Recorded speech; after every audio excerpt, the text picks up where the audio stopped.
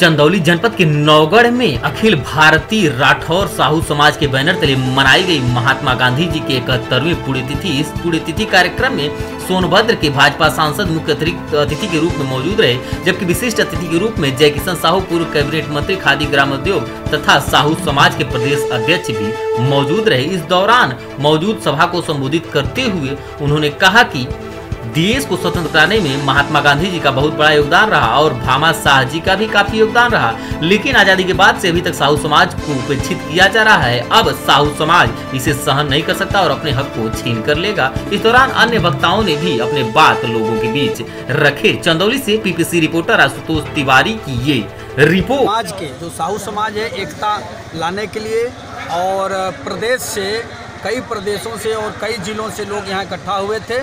जिसमें मुख्य अतिथि बनाया गया था और उनके विकास के लिए, उनके एकता के लिए, उनके चाहे आरक्षण के लिए या उनके प्रतिनिधित्व करने के लिए राजनीति में, चाहे वो जिला पंचायत का हो, विधानसभा का हो, लोकसभा का हो, जो भी हो सकेगा, अपने मैं राष्ट्रीय अध्यक्ष से वार्ता करूँगा कि यह समाज को आगे बढ़ाने के लिए हर जगह प्रतिनिधित्व किया जाए। देखिए, ऐसा है कि महात्मा गांधी जी की पुण्यतिथि भी आज है। और महात्मा गांधी जी हमारे साहू समाज से ही थे।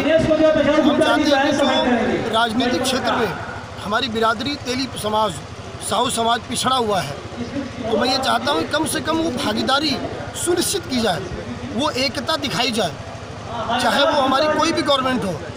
सपा हो, बसपा हो, भाजपा हो, हमें जो सुनियोजित तरीके से और हमारे हक के हिसाब से और हमारे वोट भागीदारी के हिसाब से सीट हमें देगा, हम उसके साथ हैं और मेरा मानना है, हक मांग के नहीं मिलेगा, हक को छीनना पड़ेगा, इसीलिए कार्यक्रम लगातार इस ज़िले में और अन्यत्र जिलों में चलाए जा रहे हैं। तेली बिरादरी को अखिल भारतीय साहू राठौर महासभा के बैनर तले एकत्रित किया जा रहा है। और इसी का एक कार्यक्रम था, जो मुगल सरा से चल करके मुगल सरा कार्यक्रम को रूपरेखा देते हुए रथ यात्रा के साथ हम लोग नौगढ़ पहुँचे हैं।